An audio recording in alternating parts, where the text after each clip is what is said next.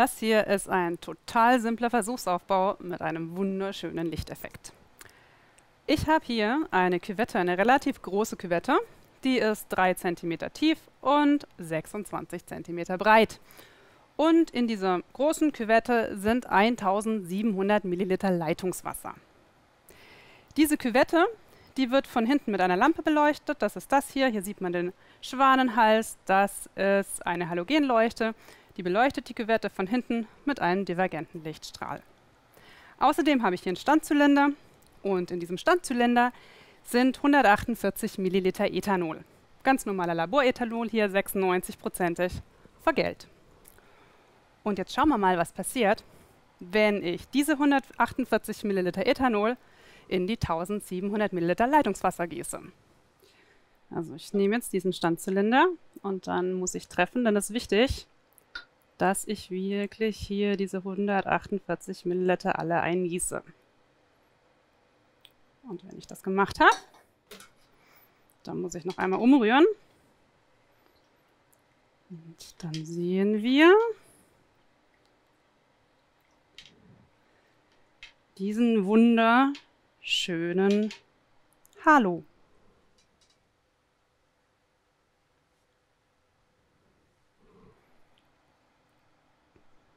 Ein bisschen umrühren.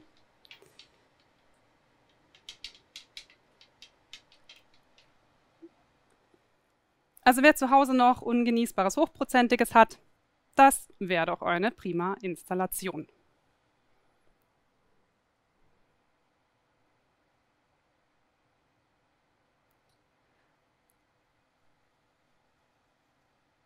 Und für wen diese Erklärung jetzt vielleicht ein bisschen ungenügend war, der bleibt noch kurz dran.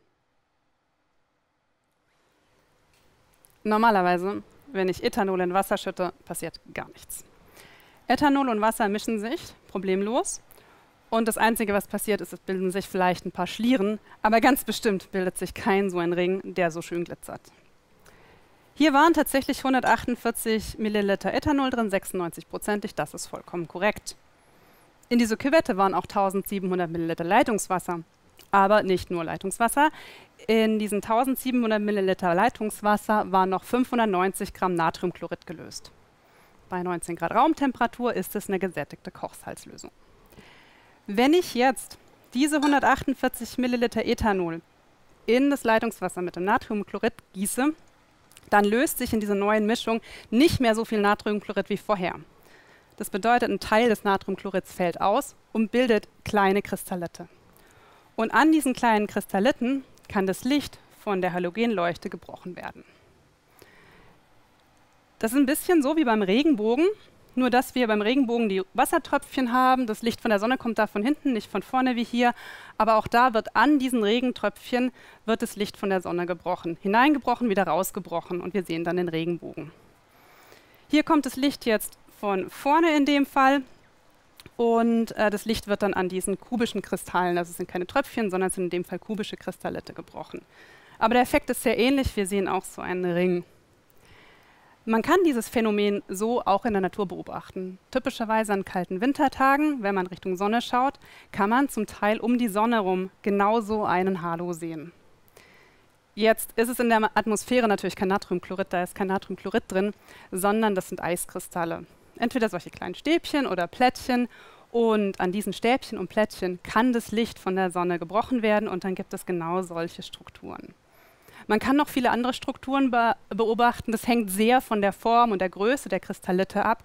Und der ganze Vorgang ist auch relativ kompliziert. Das Licht wird in die Kristallite reingebrochen und dann wieder raus. Und man kann nicht nur Kreise beobachten, sondern auch solche gebogenen Linien und Nebensonnen. Insgesamt ist es super schön anzusehen.